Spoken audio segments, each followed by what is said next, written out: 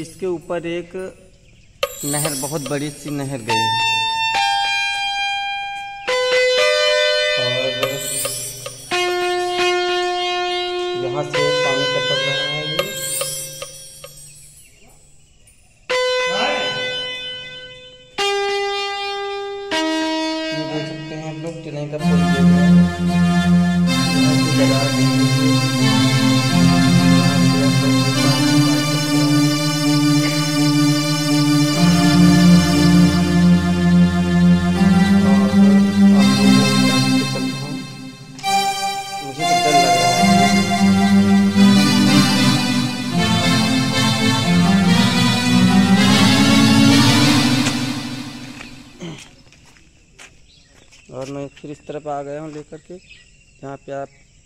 देख सकते हैं